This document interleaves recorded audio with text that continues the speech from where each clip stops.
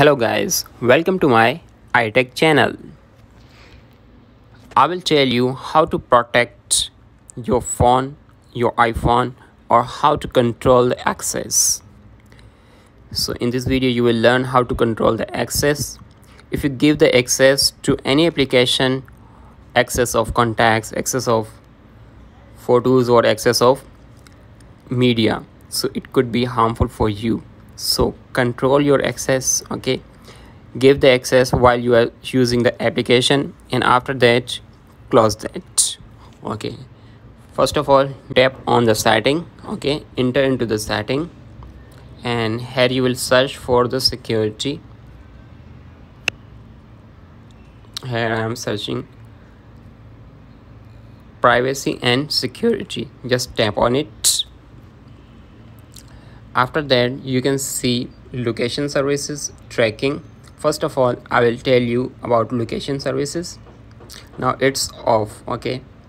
When i tap on the toggle so many applications would be open okay? For example i uh, click on the play app store okay? So it asking me i have given permission or not? There are three types of options. One never I don't want to give the permission anytime okay? It's first number. And second one is ask, ask next time or when I share. When you will share then it will ask okay? And the third option is while using the app. Whenever you will open the application it can access your location okay? It can look at you while using the app. So this option is best okay? You can tap on any of the three as you like or require okay? In the same way you can do that same thing with anything any app. Now come back and there is another tracking okay? If i off this toggle it will be like this and on the toggle and you want to give the permission to track your phone to any application so you can on the toggle of any application it could track you okay? Come back and the next and the most important is that you give tap on the contacts and you will come to know how many application is accessing your contact. Okay all the contacts would be used or seen on the on the other applications. Okay for example zapier can see and use my contacts whatsapp tiktok and snapchat.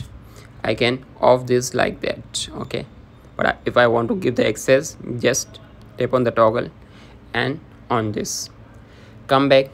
And the most important second one is photos. In the photo you as you tap on the photo now you can see so many applications are here. If i want to know uh, canva okay? If i want to know canva can access my photos or not so i will just tap on it and see. There are three options. Selected photos.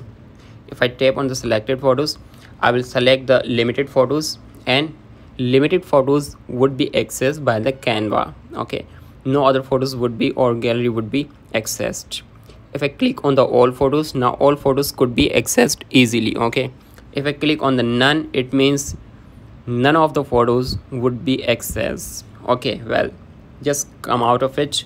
In the same way you can see how many applications are using and you can see uh, at the right side all photos all photos uh, add photos only okay?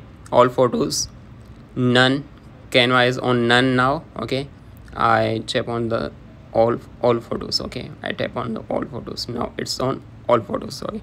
So all my applications are on all photos. All photos are accessed by any application but it is harmful. So what i will do just tap on none. When i will use it i will give the permission. Otherwise it's off.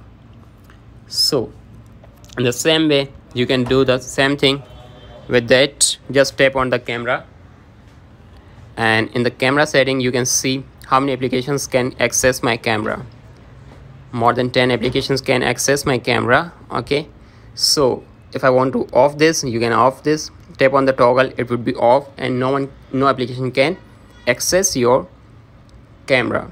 So in this way you can secure your iphone your cell phone again and no one can access your data or contacts. And it could be harmful you know uh, so many applications get your data and and misuse. So in this way secure your cell phone. So i hope you have learned something in this video. So if really so please like share and sub my channel. And don't forget to tap on the bell icon button to get my video on your screen first of all. Thank you